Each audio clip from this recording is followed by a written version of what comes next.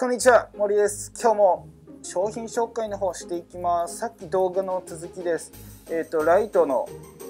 これですね。このライトの今レビューをした後に気づいたのが、ここについてるやつ、なんだよっていう風に皆さん思うかなと思うので、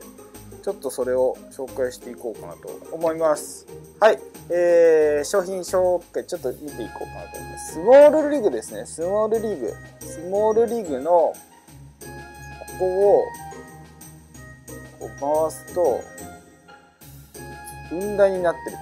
と。雲台になってて、ここが自由にこう動く。ですね。で、あ、ここだっていうところでクイッと締めるとこう固まると。でそれをあのマンフロットのミニ三脚にこうつけてでライトをこうつけたり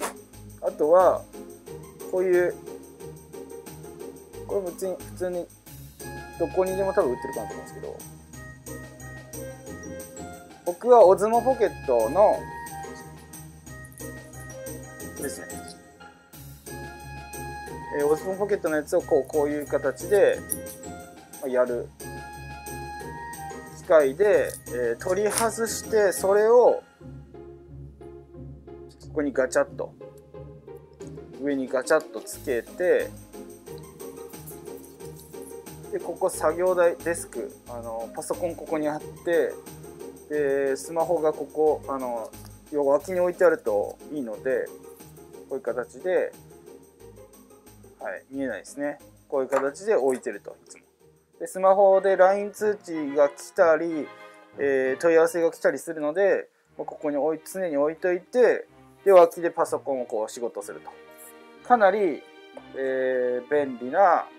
形にえー、僕のデスクというか、まあ、机は設定しております。はい、こういう形ですね。で、下に充電器があるので、充電器をこう引っ張ってきて、充電しながらも、ま、できる